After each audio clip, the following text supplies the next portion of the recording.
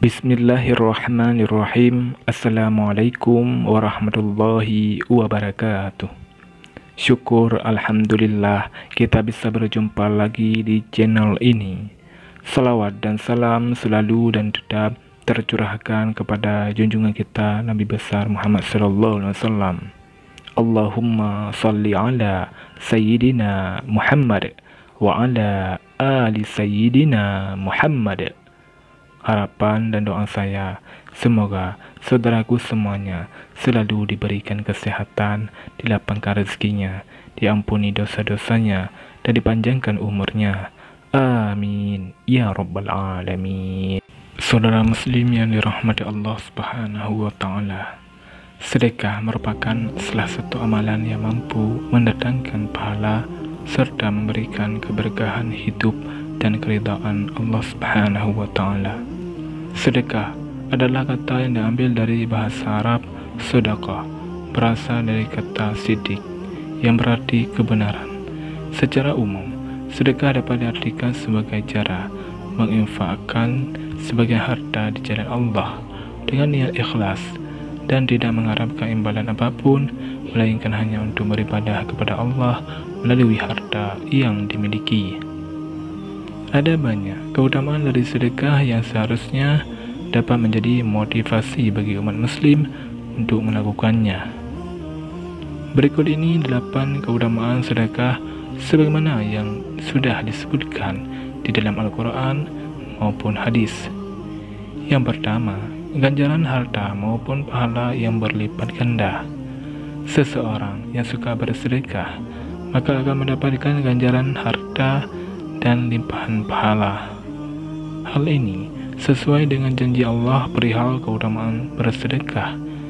Itu sendiri yang tercantum dalam Al-Quran yang berbunyi, Sesungguhnya orang-orang yang bersedekah, baik laki-laki maupun perempuan dan meminjamkan kepada Allah dengan pinjaman yang baik, niscaya akan dilipat gandakan pahala kepada mereka dan bagi mereka pahala yang banyak.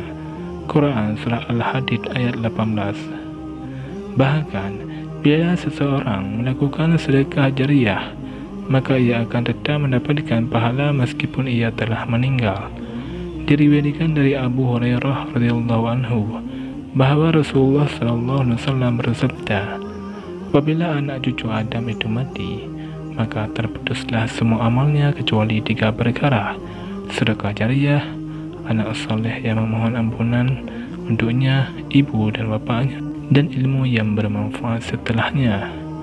Banyak orang merasa khawatir jika bersedekah akan membuat harta benda berkurang atau membuat mereka jatuh miskin. Namun sebaliknya, Allah Subhanahu wa taala telah berjanji akan melipat gandakannya. Perumpamaan orang yang menginfakkan hartanya di jalan Allah seperti sebutir biji yang menumbuhkan tujuh tangkai. Pada setiap tangkai ada satu biji, Allah melipat gandakan bagi siapa yang dia kehendaki. Dan Allah maha luas, maha mengetahui. Quran Surah Al-Baqarah ayat 261 Yang kedua, sedekah mendatangkan rezeki. Sedekah merupakan salah satu cara berbagi rezeki. Semakin sering berbagi, maka orang tersebut akan semakin diingat dan disayangi oleh makhluk. Dengan demikian, Allah Subhanahu wa taala akan menurunkan rezeki melalui tangan yang dibantu sebagai perantara rezeki orang tersebut. Rasulullah sallallahu alaihi wasallam bersabda, "Turunkanlah datangkanlah rezekimu dan Allah dengan mengeluarkan sedekah."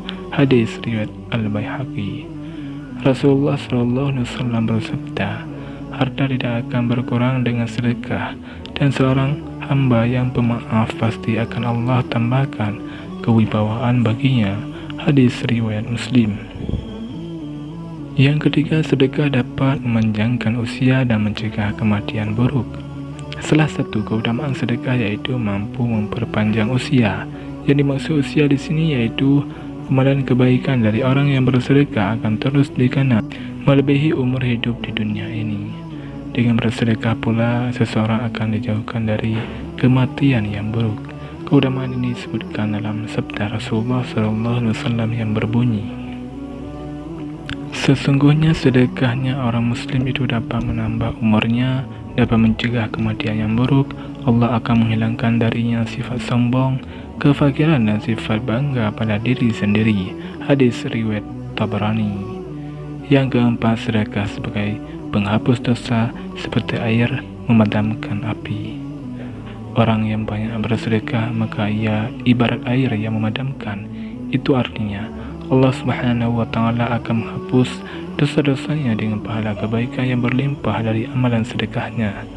Rasulullah Shallallahu alaihi wasallam bersabda, Sedekah itu dapat menghapus dosa sebagaimana air itu memadamkan api. Hadis riwayat At-Tirmizi. Yang kelima, sedekah dapat menjauhkan diri dari api neraka. Seperti penjelasan sebelumnya, sedekah mampu menghapus dosa-dosa orang yang melakukannya. Dengan demikian, maka sedekah juga bisa membuat ia terhindar dari api neraka, mengingat pahala berlipat ganda yang telah didapatkan.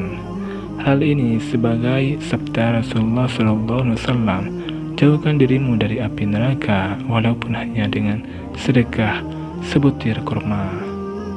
Muttafaq.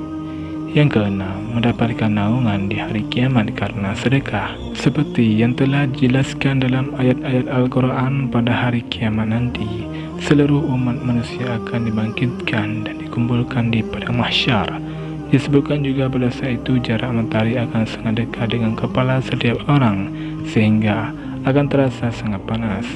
Untuk melindungi dari panas tersebut, Rasulullah SAW telah memberitahukan amalan apa yang dapat menjadi naungan di hari kiamat. Maka dijelaskan dari hadis Rasulullah SAW bahwasanya yang menjadikan naungan umat manusia di hari kiamat nanti adalah amalan sedekahnya.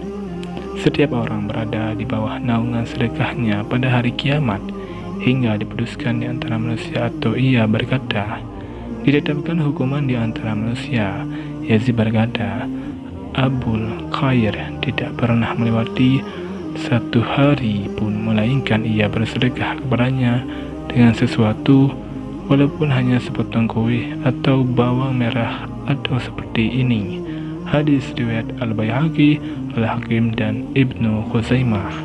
Dijelaskan pula dalam riwayat lainnya bahwasanya Rasulullah SAW bersabda, naungan orang beriman di hari kiamat adalah sedekahnya. Hadis riwayat Ahmad. Yang ketujuh didoakan malaikat.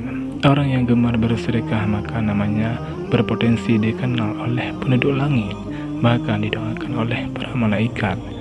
Rasulullah SAW bersabda, tidak ada hari yang disambut oleh para hamba melainkan di sana ada dua malaikat yang turun salah satunya berkata, Ya Allah, berikanlah ganti kepada orang-orang yang berinfak. Sedangkan malaikat yang lainnya berkata, Ya Allah, berikanlah kehancuran kepada orang-orang yang menahan hartanya. Hadis riwayat Bukhari dan Muslim. Yang kedelapan, mendapatkan keberkahan harta dan jiwa. Dengan bersedekah, seseorang akan mendapatkan harta yang berkah, sehingga dalam hidupnya akan tercipta rasa aman dan nyaman. Keutamaan ini telah tertuang dalam salah satu surah Al-Quran yaitu Allah melapangkan dan menyempitkan rezeki bagi siapa yang dikehendakinya. Quran Surat Sahabat ayat 39 Saudara muslim yang dirahmati Allah Subhanahu demikianlah delapan keutamaan sedekah yang terdapat dalam Al-Qur'an dan hadis. Semoga kita semua senantiasa untuk bersedekah dengan seikhlas-ikhlasnya dan semoga Allah Subhanahu wa taala menyelamatkan kita semua baik di dunia maupun di akhirat kelak. Amin ya rabbal alamin. Wallahu a'lam bishawab. Assalamualaikum warahmatullahi wabarakatuh.